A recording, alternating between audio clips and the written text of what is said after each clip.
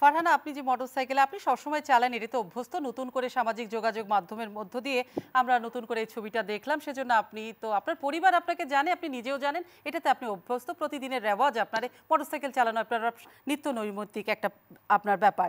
কিন্তু যে ছবিটি আলোচনা তৈরি করেছে, এই বিয়ে, মেহেদির অনুষ্ঠানে সেই জায়গা থেকে আমরা একটু জানতে চাই, অনেকে বলছেন যে এটা একটা নারী জাগরণ, নারী স্বাধীনতার প্রতীক। আপনিও কি মনে করেন যে কোনো স্বাধীনতা, নারী স্বাধীনতা, নারী জাগরণের প্রতীক হিসাবে আপনি মোটরসাইকেল চালানোটাকে বেছে নিয়েছিলেন যে আপনি একটা নতুন কিছু করছেন নারী হিসাবে, নাকি একদম সাধারণ কোনো ভাবনা থেকেই আপনি আসলে চালাতেন মোটরসাইকেলটা, চালানো শিখেছিলেন?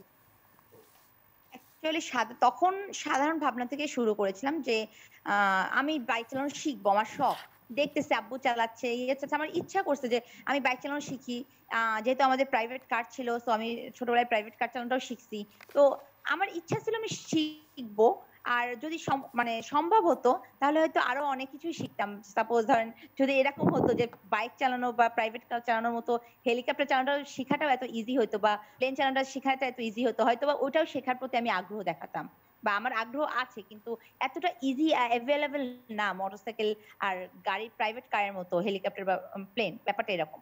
মানে আপনি যদি সুযোগ হ্যাঁ, পেতেন তাহলে আপনি হেলিকপ্টার কিংবা বিমানও চালাতেন ফারহানা এই তো আমার হ্যাঁ অবশ্যই। আমার খুব শখের জিনিস এগুলা শেখা। মানে এক একজনের শখ থাকে তো? আমার শখ ছিল, শখ আছে এগুলাতে।